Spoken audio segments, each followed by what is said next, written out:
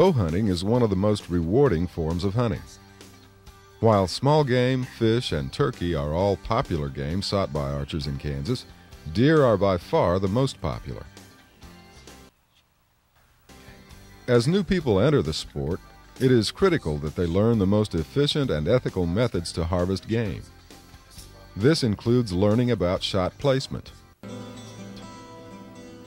To ensure a quick and humane kill, a bow hunter must know where the center of the vital zone is located. Only then can he or she choose the correct spot at which to aim. Since a razor sharp broadhead kills by cutting blood vessels, an arrow must be directed at the largest zone of concentrated veins and arteries. As a deer offers a broadside shot, we must choose just the right spot at which to aim. The best way to accomplish this is to learn the internal anatomy of a deer we must first be cautioned about large bone structure that may stop an arrow's penetration. The humerus bone and the scapula bone actually cover very little of the ideal aiming zone on a deer standing broadside. However, the location of these bones must be understood when shot placement decisions are made. While not considered an aiming zone, the liver contains many blood vessels. It is located behind the chest cavity just back of the diaphragm. A deer's lungs offer the largest area of concentrated blood vessels. Consisting of two lobes, these organs nearly fill the chest cavity. The heart, made visible here, is located in the center of the chest and lies between the two lobes of the lungs. Major arteries and veins leading to and from the heart are also shown. To achieve a quick and humane kill, an archer should pick a spot in the very center of the most concentrated area of blood vessels. Experts agree that that spot is approximately here, where the crosshairs intersect, a spot slightly above the heart. Note that if the aiming point is missed by 3 inches in any direction, the broadhead would still pass through a zone resulting in rapid death, usually within seconds. This life-size deer target simulates a deer in many ways. Like a real deer, there are no marked aiming points. However, if we look at the reverse side of the target, we see a simulation of the vital zone. Note that the spot one inch above the heart is slightly below the midline of the target. Now let's take a shot at the target. Imagine that you are a standing bow hunter. Mentally pick an aiming point.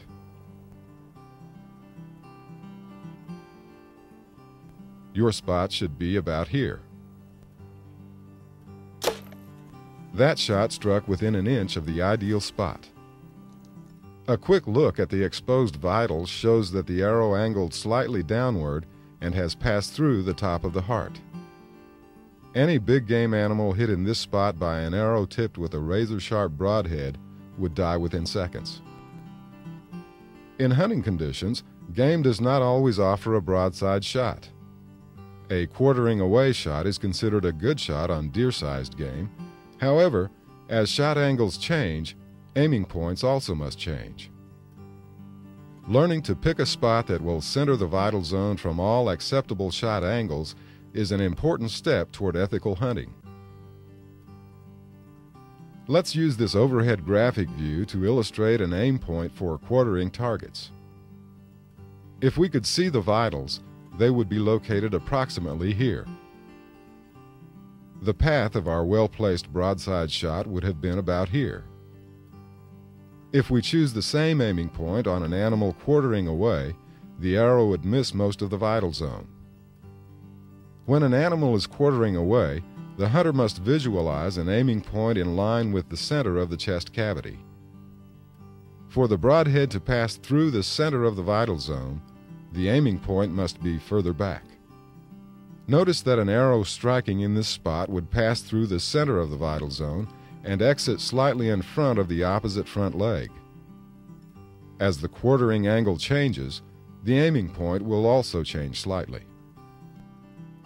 The key here is to visualize the center of the vital zone within the animal. To help us do that, we've placed a tennis ball on the vertical plane directly above the center of the kill zone. It's at the midline of the three-dimensional target. Notice that our arrow, shot from the broadside angle, passes directly underneath this marker. Now let's view the target from a quartering angle. The proper aiming spot will be directly beneath our marker, about here. As we view a more extreme angle, the aiming spot changes again. Use this method to practice visualizing the center of the vital zone on quartering shots. Just pre-drill a hole through a tennis ball, then place a nail through the hole. You can then stick the ball to any 3D target. As we prepare to take a shot at a quartering target, we must select an aiming point farther back of the rib cage and slightly below the midline of the deer's body. Pick your spot. It should be about here. That arrow should pass through the center of the vital zone. The majority of Kansas bow hunters hunt deer from tree stands. This places the hunter 10 to 15 feet above ground level. If a bow hunter chooses to hunt from a tree stand, he or she must practice shooting from an elevated position, especially with broadheads. Those who use sights should set their sights while shooting from a tree stand or similarly elevated position. Pin adjustments are often necessary.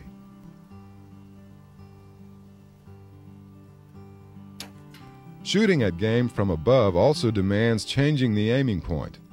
Let's again look at a graphic simulation. If we could see the vital zone from this angle, we would see that the heart and lungs are located about here. Our ground level broadside shot was aimed about here, to pass through the center of the vitals. If an arrow shot from a tree stand entered at the same point, only a small portion of the vital zone would be hit. To pass through the center of the vital zone, it must enter higher on the side of the deer. If the hunter is higher or the deer is closer, the aiming point must be even higher. Let's again use the tennis ball to visualize our aiming point. We'll place it in a horizontal plane corresponding to the center of the vital zone. Notice that our broadside shot lines up well with our marker.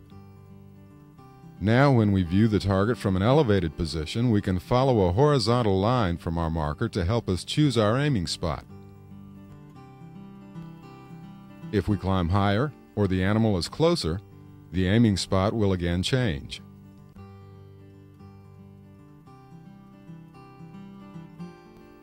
Let's try this on our deer target. Again, the center of the vital region must be visualized. The elevated bow hunter must pick a spot higher on the deer's side than was necessary at ground level. Pick your spot now. It should be about here. That arrow should center the vitals. If the deer was standing closer to the base of the tree, the aiming spot would be even higher. Pick your spot now. It should be about here. That's a good shot, but archers should be cautioned about shooting at broadside deer from extremely high angles such as this. The scapula bone presents a problem for such shots. Notice that there is no room for error above the last arrow. In such situations, experienced bow hunters often let deer walk further past allowing a slight quartering away shot. This allows an aiming point farther back. The arrow will enter behind the scapula bone, but will angle forward into the vital zone.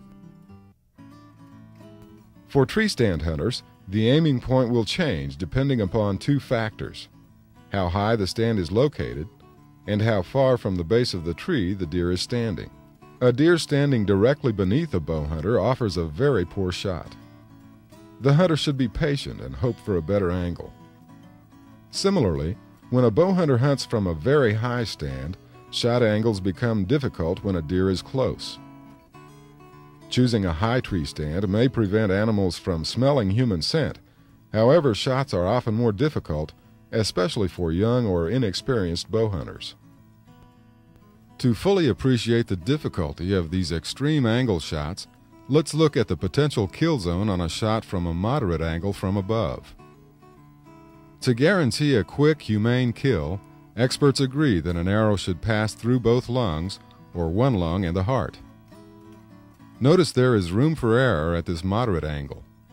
A shot can go several inches higher than intended and still pass through both lungs. Or it can drop several inches lower than the aiming point and still pass through one lung and the bottom of the heart. Now let's look at the kill zone on a shot coming from above at an extreme angle. The effective kill zone at this angle is greatly reduced. Notice that the spine makes it impossible to strike both lungs, and only a small aiming zone will strike one lung in the heart. Such high angle shots are difficult and can result in wounding. This suggests that inexperienced archers should limit the height of their tree stands to 10 or 12 feet, and that shooting from higher stands demands advanced shooting skills.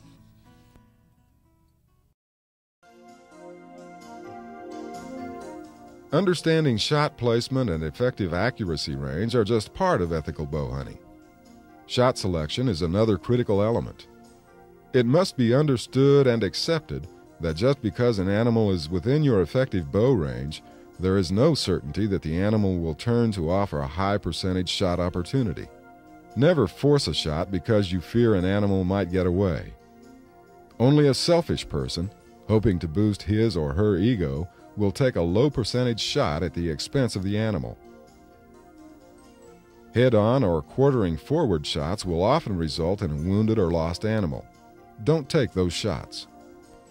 Because of the bone structures in the front legs, front quartering and head on shots offer small kill zones and, if taken, often result in wounding. You should choose to always turn down such shot opportunities. The future of bow hunting depends on the actions of bow hunters. Don't allow your actions to harm this great sport. Ethical bow hunters make shot selection decisions before they hunt. That statement bears repeating. Ethical bow hunters make shot selection decisions before they hunt, and they abide by those decisions during the hunt. You should decide to take only broadside or quartering away shots that are unobstructed and within your effective range. During the following scenes, choose when you would take a shot. Also select your aiming point.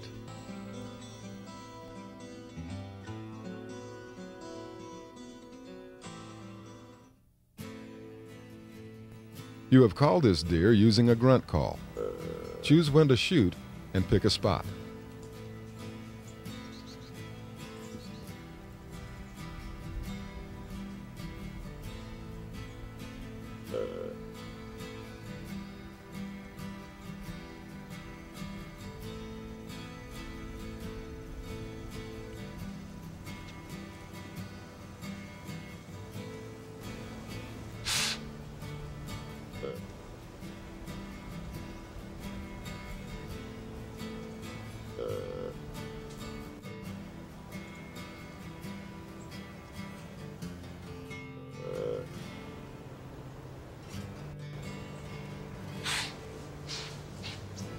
As is often the case when calling deer, there was never a chance for a high percentage shot.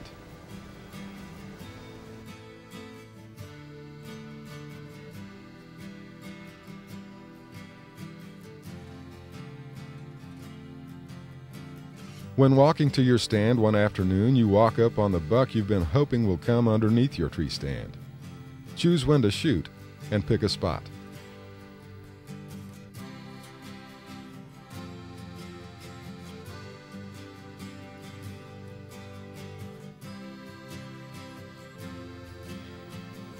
Unfortunately, the tall weeds between you and the deer prevented a high percentage shot. The deer was obviously not spooked. Proceed to your stand and wait for a better opportunity.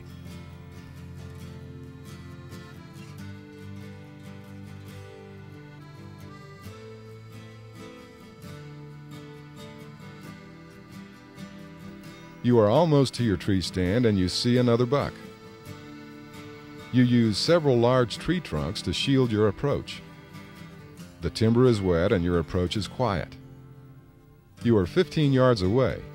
Choose when to shoot and pick a spot.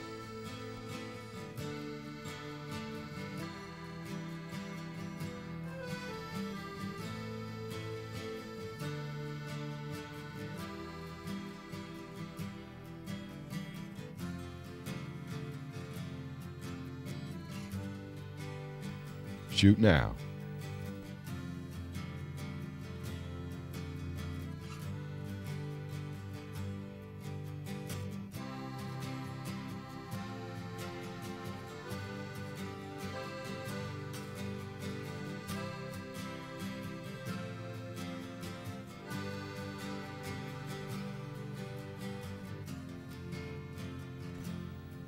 You have used a hill to stalk within easy range of this mule deer. You have positioned yourself to draw your bow, and the herd is only mildly disturbed. Choose when to shoot and pick a spot.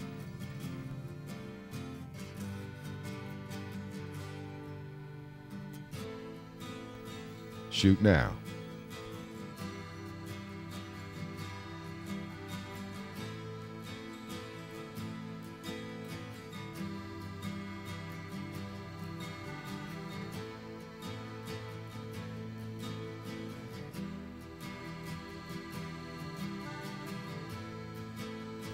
You are in your tree stand at the edge of an alfalfa field when you hear something behind you.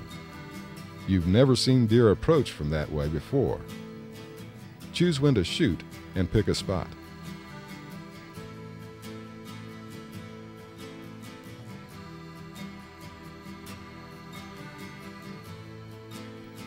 Don't try to force a shot. Clear small limbs from between trees for more open shooting lanes. Some hunters grunt at walking deer to stop them within those open lanes.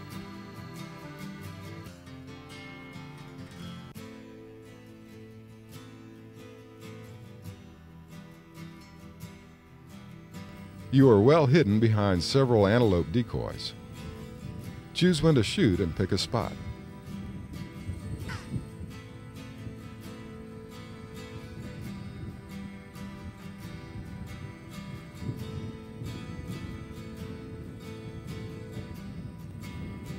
If you were going to shoot, this would be an ideal aiming point.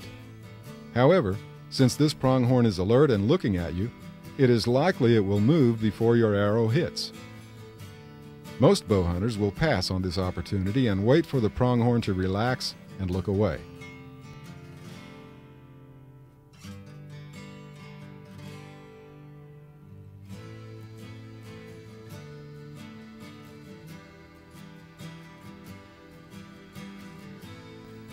You saw this pronghorn buck grazing toward a small saddle and you got there ahead of him.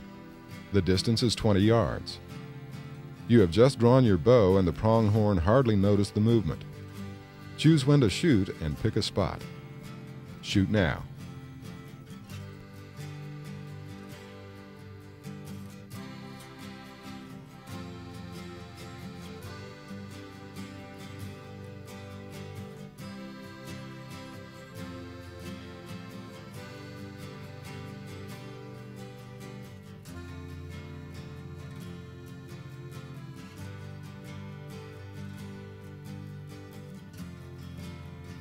You've been following four bull elk for over an hour.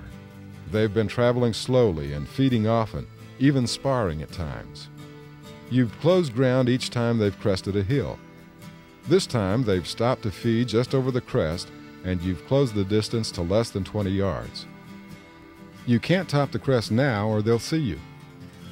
Finally, all of the bulls have turned to walk directly away. Not one of them sees you as you top the hill and draw your bow. You cow call with the diaphragm in your mouth.